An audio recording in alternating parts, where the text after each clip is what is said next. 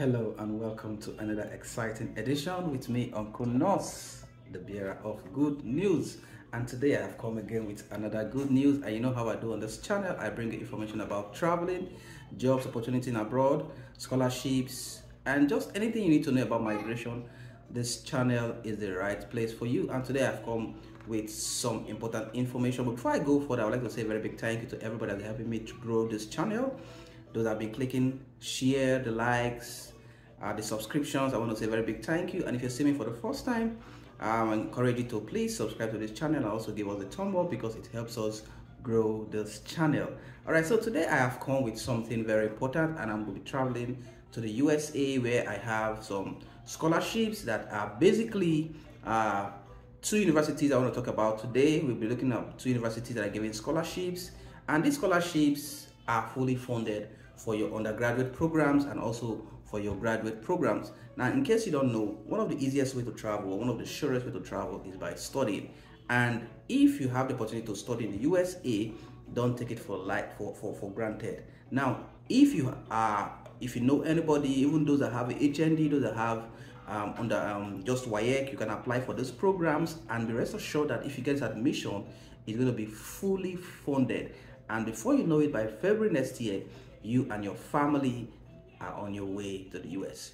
Join me as I go through this process and explain in detail so I can get more information. Today, we want to talk about some exciting opportunities in the United States of America. So, in this video, we'll be reviewing two universities in the United States that offers a lot of benefits. Okay, so one of the benefits that these universities are currently offering, for one of them, you do not need to pay any application fee. For the second university that will be reviewing today, they do have an application fee, but from now until November 1st, the school is applying an application fee waiver, meaning if you apply for any of the programs between now and November 1st, you won't have to pay any application fee. So the second benefit which we discovered for both universities that we are looking at today is the fact that if you are a citizen of an English speaking country or if you have studied previously in an English speaking country and your studies were conducted in English language,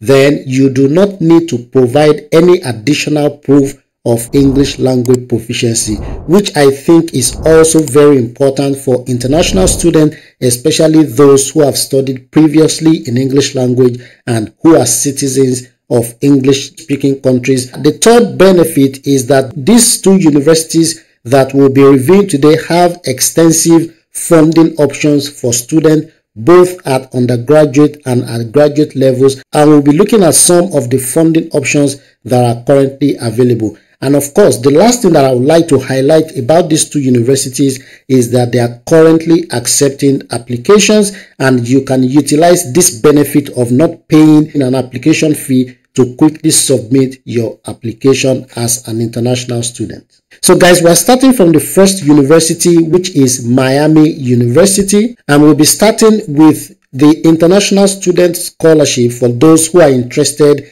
in undergraduate programs. So the school has a range of different types of scholarships for international students.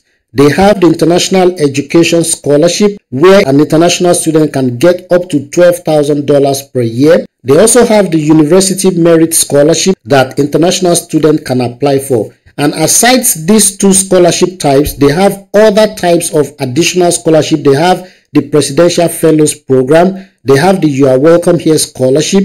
They have the PRODIS Scholarship and the Translated International Student Scholarship information. At the graduate level, the school offers funding either in form of fellowships or assistantships. For the fellowship opportunities, they have the Anchtakia Graduate Fellowship and they also have the Graduate Summer Research Fellowship. Okay, when it comes to graduate assistantship opportunities, you can apply for the graduate assistantship positions, the graduate school scholar assistantship positions, or the Ronald E. McNair Scholars Opportunities.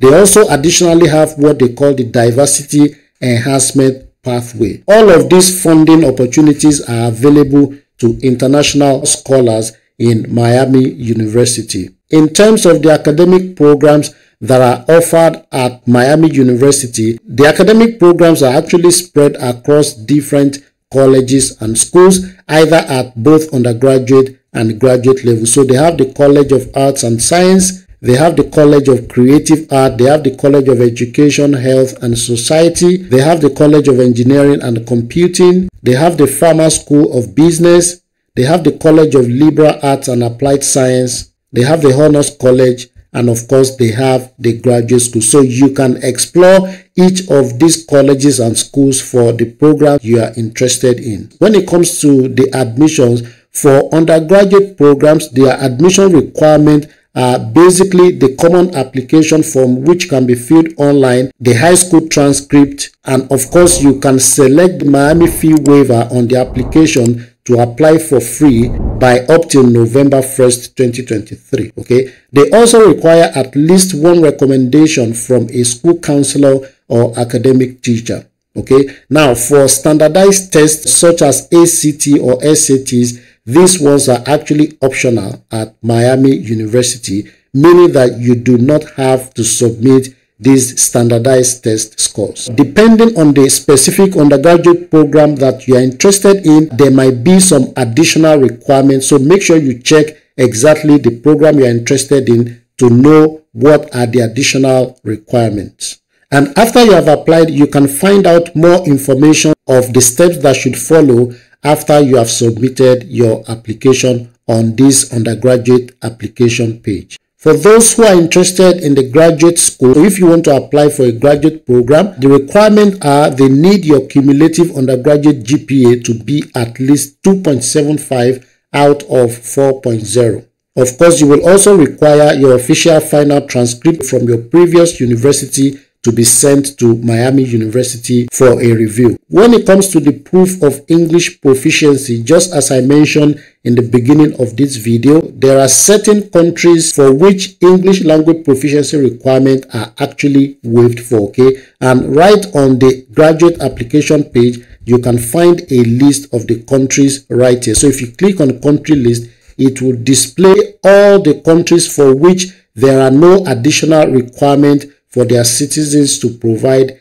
any English language proficiency test result. Okay, and you can see that, for example, there are some African countries that are also included here, mostly the English-speaking African countries like Nigeria, Sierra Leone, Tanzania, Ghana, and other countries all across the world as well. So make sure you review this list extensively to check if your country is listed here. If your country is not listed here, you might need to provide some form of additional English language proficiency. So before we move to the second university, let's take a look at the application deadlines. So this is very important, especially if you want to be considered for scholarships and funding. Okay. So for the first semester, the application deadline is November 1st. Okay. So you still have some time between now and November 1st to submit your application. And if you're interested in the spring semester, then the application deadline is December 1. So we're moving on to the second university. And one of the things that I love about this university is that 100% of the accepted student receive some form of financial aid and I'll be showing you this information right on their website. So we're talking about Simmons University. So for graduate students, the school offers some merit scholarships and funding options, okay? So the school believes that your exceptional academic preparation and hard work should be rewarded. They offer what they call the Graduate Direct Stafford and Plus Loan and they also offer some competitive merit-based scholarships for all students. And for you to be considered for a merit scholarship, you do not need to submit a separate application. So your application for admission also counts as your application for the merit scholarship which is being offered by Simmons University. When it comes to the application processes, the requirement to submit an application and the application deadlines. This actually varies by the program that you're interested in okay? So each of the programs that is being offered they have their own admission process requirement and application deadline so it's always good to check with the specific program to find out exactly what are the processes for that program, what are the requirements to submit an application, and what is the application deadline. So we'll be taking an example. We'll be using Master in Social Work as a typical example. So on the program page, you can find all of the information regarding admissions and application submission for this specific graduate program. So on the program page, for example, you can see the application requirement and other instructions. Okay. So for example, for you to apply for this graduate program in social work, you would need to complete an online application form. You would need to submit your resume. You would need to provide a personal statement, which is between three to five pages. And of course, you would need to also submit your official college transcript as well. In addition to all of these requirements, this program requires three letters of professional or academic recommendation. So as I said earlier on, the requirement for each program is different and you would find the specific requirement in the program page that you are interested in. So when it comes to undergraduate admissions, 100% of first year students receive some form of financial assistance. So the diverse student body represent a mix of socioeconomic background. So the school actually work together to put together a financial aid package to help meet each student's need. So they use a combination of merit scholarship, need-based grants, student loans, and student employment to meet the financial need of all of the first year students who actually gain admission to Simmons University. So this is actually a great opportunity for those who are looking for a place where they can be assured of some form of funding. If this applies to you, then you should consider applying to Simmons University. The school also has a frequently asked questions page. If you want to find out some answers to some critical questions regarding financial aid or application or admissions,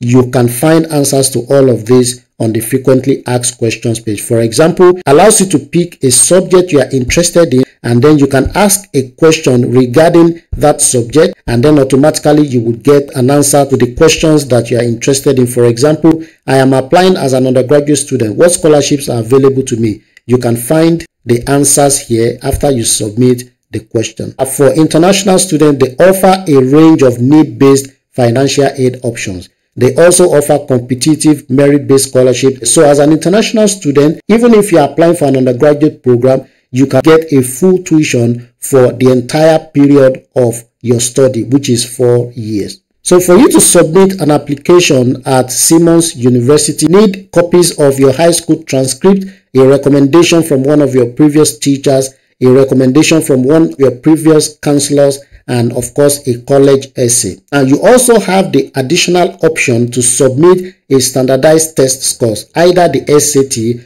or the ACT, but these are not mandatory requirements. If your native language is not English, you would need to submit a test of English language proficiency. But if you come from an English speaking country, then this requirement is actually waived for you. Okay. Now you can read more information regarding the specific requirement that they are looking for in the applicants. Finally, the school has a frequently asked questions page where you can also get some additional information to some pressing questions you might have. For example, is there an application fee when applying to Simmons? The answer is no, it is free. So do we offer fee waivers for the application fee? Simmons does not have an application fee. It is completely free to apply. So guys, we've been able to quickly review two universities that are offering a lot of benefits for international students. Don't forget that for these two universities, you do not need to pay an application fee, okay?